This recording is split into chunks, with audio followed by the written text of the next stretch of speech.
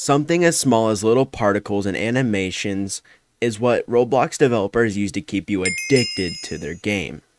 So in today's video, I'm going to be giving myself a few coding challenges, and the challenges all have to deal with smooth effects to enhance your games. And maybe you guys can even copy what I make and put it into your games. So the first thing I'm going to do is make a satisfying door opening system where you walk up to the door, but before you actually get to the door, it smoothly opens up for you, and then when you walk through it, and then walk away, it closes it for you. And you would usually see this in role playing games, you know, with huge cities and whatnot. So I have this pre made door model with three or four parts. Three are the frame, one is the main door, but there's also this one big part which is going to detect when we enter the area to open up the door.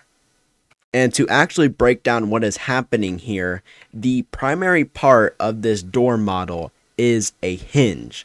And the hinge is a transparent invisible part right here.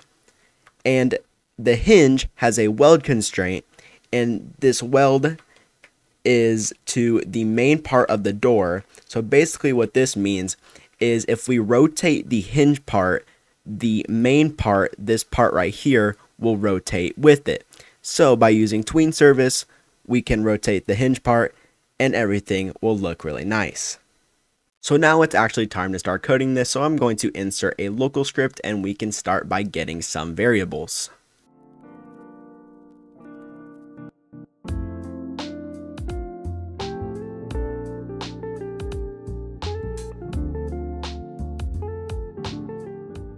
All right, so here are our variables to the door. We get the primary part, the hinge, the open part, everything like that.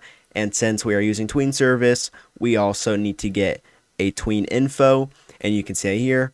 And then we're using a debounce, so when we touch the open part, it doesn't fire multiple times. And we're also getting an OG C frame or original C frame for our primary part, which is the hinge.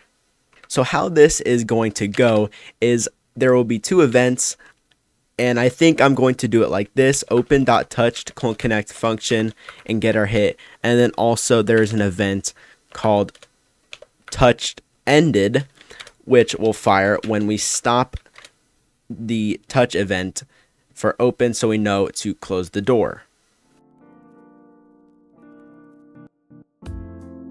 Alright, so I'm going to show you guys how I'm going to go about actually opening the door. And we are obviously going to be doing this using tween service, as I've already said. So it's just a basic tween by saying tween service create on the primary part. We're using our tween info. And then how we are doing this is we are setting the C frame of the main door to itself, primary part dot C frame and we are also multiplying it by cframe.angles. And in cframe.angles, we're going to multiply it by math.rad 90 degrees. So we're putting 90 degrees in for math.rad, sorry, math.rad, and then we're going to say zero. So we are going to rotate the part on its y-axis because you know if we actually visualize this the green is always the y-axis in roblox so you can see we wrote want to rotate it like this. And then we're going to call colon play so it plays the tween and then to finish our debounce for this event we're going to say task dot wait two seconds. So this only runs every two seconds. And then we're going to set debounce back to false. And then for our touch ended event, it's basically going to be the same thing except we are tweening it to its original C-frame. Alright, this should be our script done and we can go ahead and test it in game. Alright, so we are in game and I made the transparency of our open part a little bit lighter or, you know, so you can see it. So when we touch the part, we see the door opens up. We can walk through it and then when we leave the area, it closes again. Alright, so the next effect I'm going to try to make is an orb XP kind of system where like these orbs kind of jump into your character and it's kind of a cool effect. And I'm not entirely sure how I'm going to be able to do it, but you know, I'm sure I'll figure something out.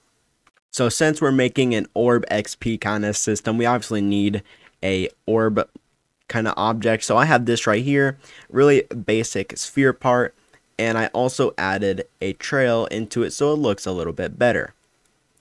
So I'm going to code this on the client. So once again, another local script and starter player scripts. And hopefully what I can do with this system is clone this part and then search up a like type of complex math system that will generate a like a curved path for me or like some type of curved kind of formation line. I'm not entirely sure how to explain it, but hopefully I can find something like that because I don't think I can just write that off the top of my head. And obviously to start, we need our services variables and utility variables, all that kind of stuff.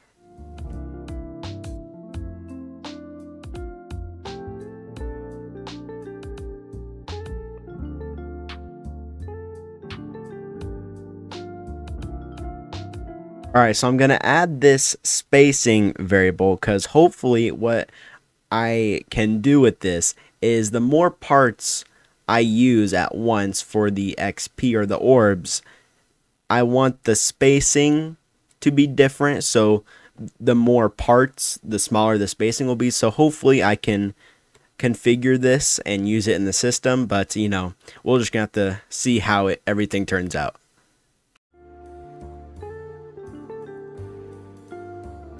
Alright, so I'm going to do this using tween service as you can see up here because I don't know how else I would do it. So we are getting tween info once again and then what I want to do for this system is use run service to constantly update the position or actually now that I'm thinking about it I don't think tween service is a good idea. Hold on. Alright, so we're no longer going to use tween service, and what I think I'm going to do is use run service and constantly update the position of our part every frame using render stepped probably, and you know, we'll go from there. Alright guys, so I think this might seem a little unnecessary, but I think I'm going to use tween service but I'm only going to use tween service for the purpose of determining when our effect is completed. So I'm just going to make a fake tween just for the purpose of calling like tween not completed colon wait until, you know, just wait until the tween is done and then do what we need to do after it.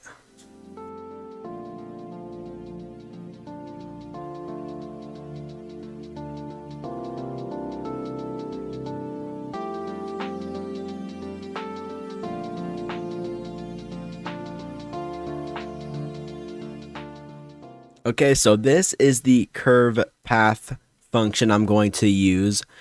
And I did a little bit digging to find this, and this should work with the scenario I'm doing. So we are making an X, Y, and Z coordinates, and just returning them.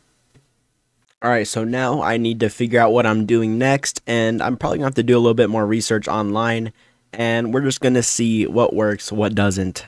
So yeah.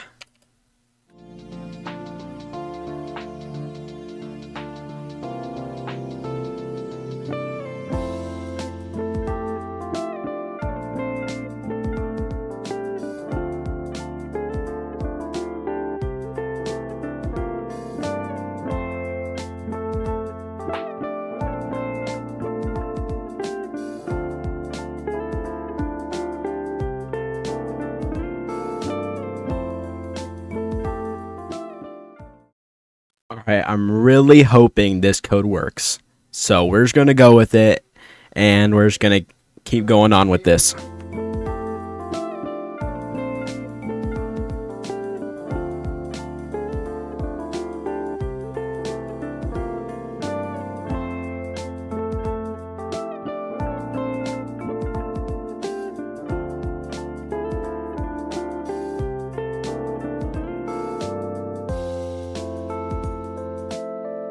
Alright, so we are going to see with what I just found and put together will actually work.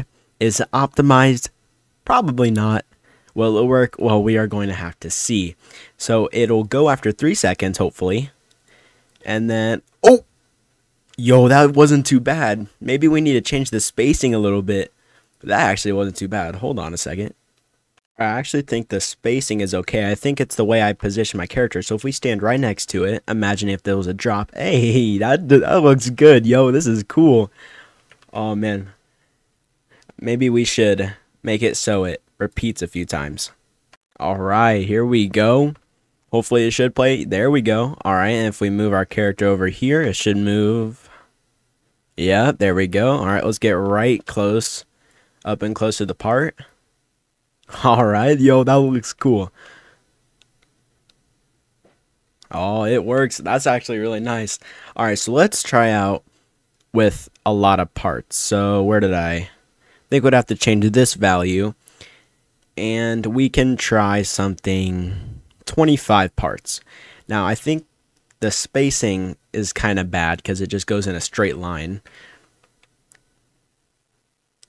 It just goes in a straight line, but hey, just having three actually looks really good.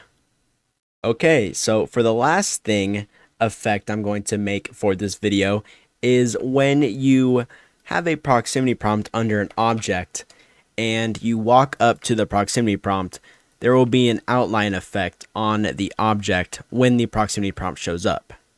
And from working with other systems and working just working with proximity prompts in general, I'm pretty sure there is a service called something with proximity prompt proximity prompt service and then in here there should be something like with the prompt like shown or something triggered. Okay, yep, we have prompt shown and there should also be prompt hidden. All right, yeah, so we're going to use these two events to basically make it so when it's shown, we're going to add a highlight to the object, and when it's hidden, we're going to get rid of the object. So we're going to start off by getting the player service as well. So players, and then we're going to say proximity prompt service dot prompt shown. And then in this, we should get, yeah, the prompt that that is shown. So prompt.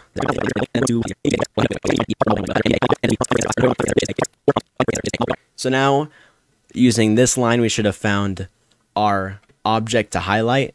And then from there, we can put a new highlight into the object.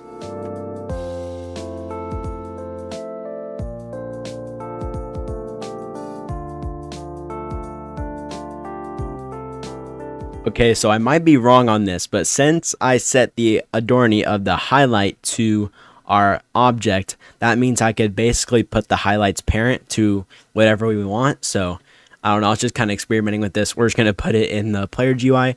I don't know why. We're just kind of messing around with it.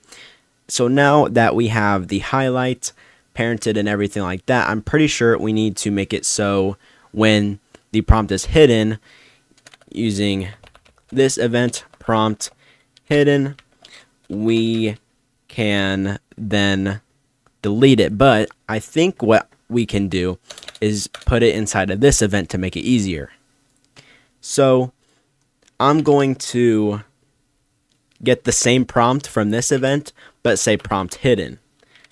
And then connect it to, so it only runs once, calling once, and then a function, and then saying highlight, destroy, just like that. So we've basically made a highlight that kind of has a white tint. And then I was actually kind of, I thought I was smart for thinking of this uh, with the prompt hidden thing inside of this event. We're just going to have to see if it works. Uh, yeah, okay, I already have this part with the proximity prompt in it. So let me head into the game, walk up to the part. Hey, there we go. Yo, that looks clean. Dang. Yo, I should use this in more of my games. This actually looks really nice. And yeah, guys, this was today's video. If you guys did learn something from this video, or you guys enjoyed this video, please hit the like button and the subscribe button. I'll see you guys in the next video. Peace.